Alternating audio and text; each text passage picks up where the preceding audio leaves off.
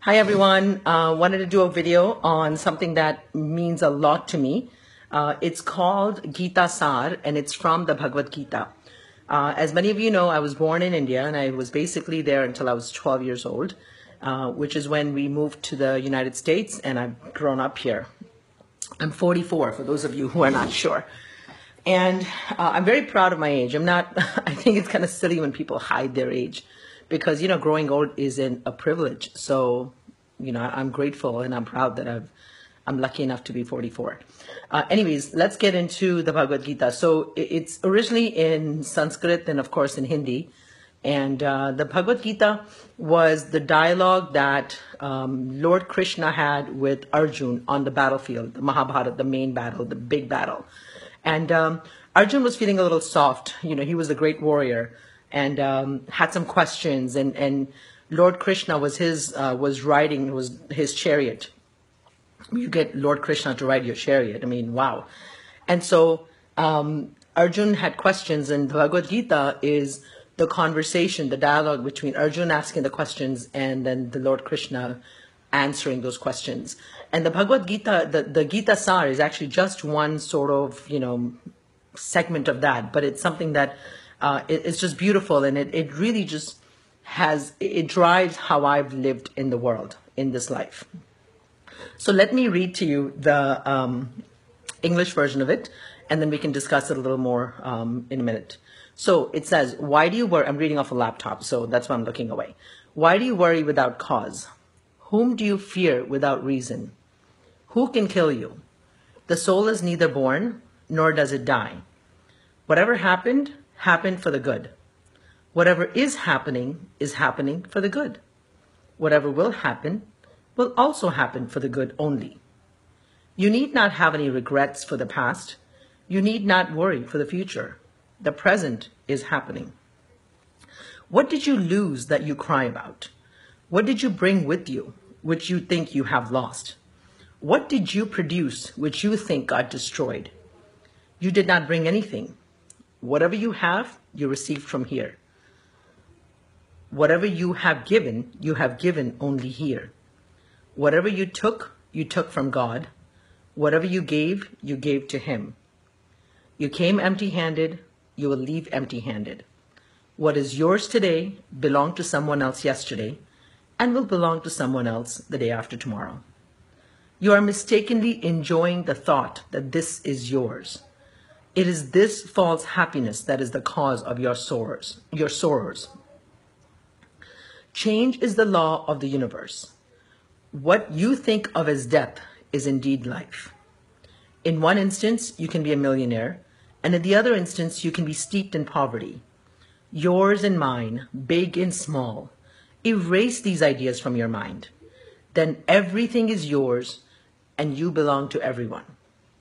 This body is not yours neither are you of the body. The body is made of fire, water, air, earth, and ether, and you will disappear into these elements, but the soul is permanent. So, who are you? Dedicate your being to God. He is the one to be ultimately relied upon. Those who know of His support are forever free from fear, worry, and sorrow. Whatever you do, do it as a dedication to God. This will bring you tremendous experience of joy and life, freedom forever. I mean, how beautiful is this, right? And, you know, um, I have to tell you, I was just having a, conversation with a friend of mine earlier today, and I was, we were, went out, I'm in Alabama, as many of you know. So I'm catching up with friends that I would normally have not had the opportunity to visit with. And I was asking about a mutual friend going, you know, what, I, had, I didn't see this person, you know, so and so. And they said, well, you know, they don't come, you know, they, they just, you know, they, they don't come for, um, for whatever reason. And, and, and then we just started talking about different people and whatever. And, you know, and, and you know, I, I'm glad that there's people that are doing really well for themselves financially in the material world, right? That's wonderful. Great. Let's all be rich and good and powerful. But you know, it, it, it's it's really sad to me when one starts to get caught up in the material possessions that they own and they start to over identify with them as their sort of identity. Um, and, and so then what happens when you lose all of that? You know, who are you? Who are we? You know, what, what are we doing on this journey of life? You know, this goes back to the very first, you know, day that I made the video. Um, you know, I believe, you know, that we are just souls having a human experience. You know, we chose to be born. Um, again, you know, we chose our soul families. You know, we chose who we would be born to. Um, and we chose, you know, who, what lessons to learn in this lifetime. And, and that's all we're doing. We're just playing out the lessons because ultimately it's about, you know, figuring out and getting back to who we are. And who we are is we're all from God. So part of it is we are all from the big energy spirit of God. Um, Neale Donald Walsch, again, my, one of my favorite authors, wrote this children's book called "The Sun, the Sun and the Sun and the Child." The children, I, I'll have to find it, but I have like twenty copies of that in my in my garage.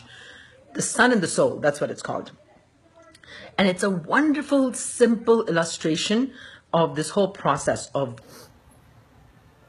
Okay, so continuing the story um, from Neale Donald Walsch's um, The Sun and the Soul, the story basically is that there's, the souls are all up there with God um, in the big energy of God.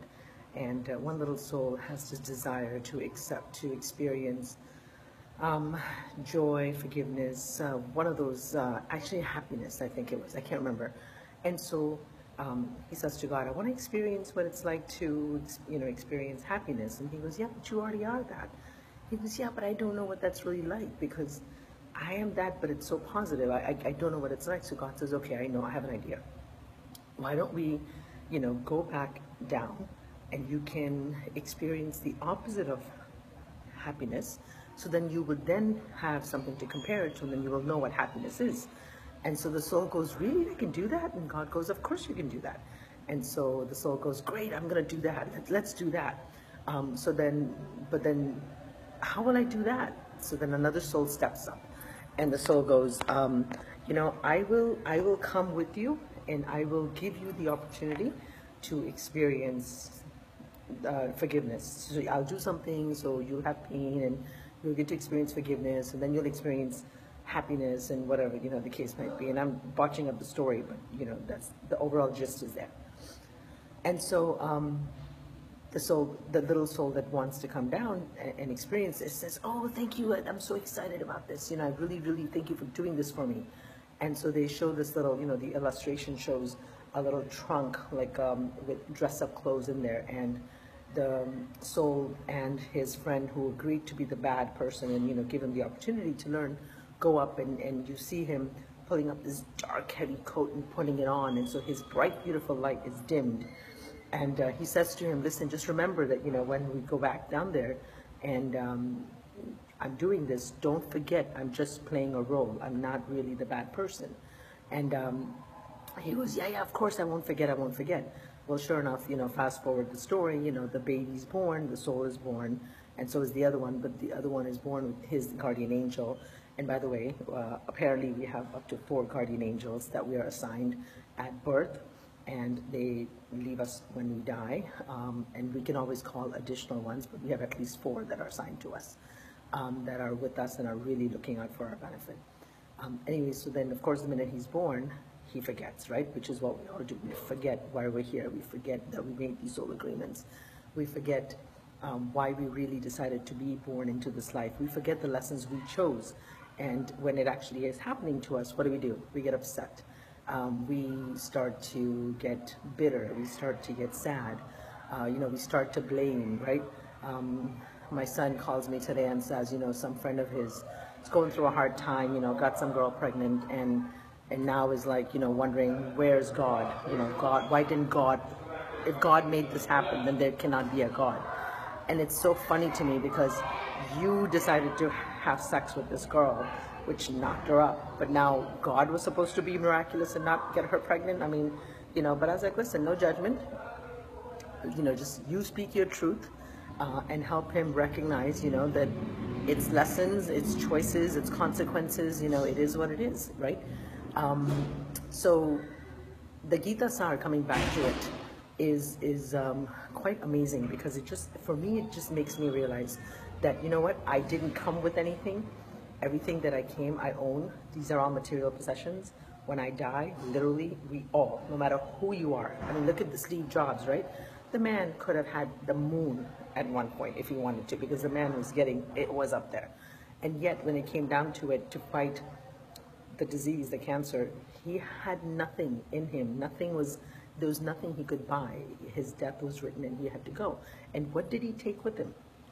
Six feet of the grave, right? It's just, that's all we ever get.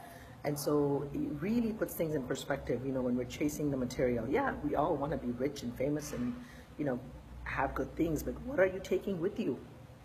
What is the purpose of all this?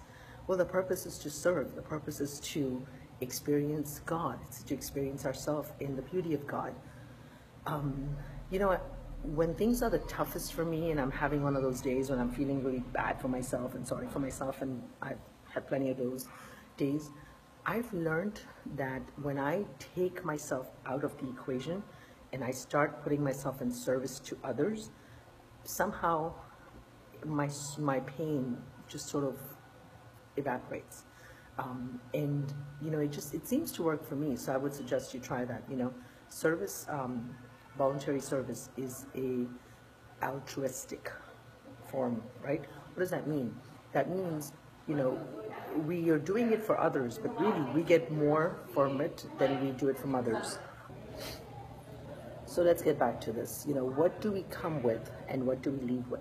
You know, we come with nothing and we leave with absolutely nothing.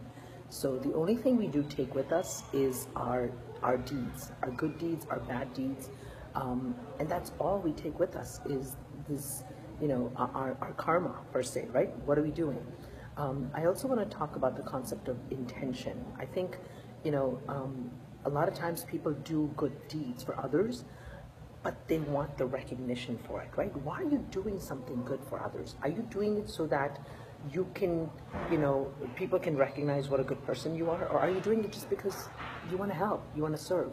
Um, and I think that intention determines your karma. So if you're doing it just out of the goodness of your heart, great, your karma is wonderful. But if you're doing it because you want the recognition, then your karma is tainted per se. Um, and again, you know, I don't think when you're helping someone, your left hand shouldn't know what your right hand is doing. So what does that mean? Don't talk about it. And if you're going to do something, don't bring it up ever. You know, you should never say, oh, yeah, yeah, I did so and so, you know, because then why are you really doing that? Always be cognizant and mindful of why we do and say the things we do, right? I recognized a long time ago, you know, I was doing these things and saying these things, and I would recognize I would drop these little things because I wanted people to think, oh, she's such a nice person. And I realized, well, there's a lot of ego involved in that, right? I don't want to do it for that reason. Why do I need recognition from other people? Do I, am I not enough within myself? And of course, at that point, I wasn't.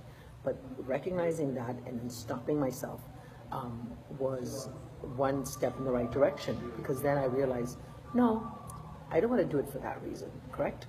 So, anyways, um, I just want to say thank you for listening again. If this has been valuable to you, uh, please share it. Please comment. Your comments do mean a lot to me. And uh, we'll go from there. Take care. God bless.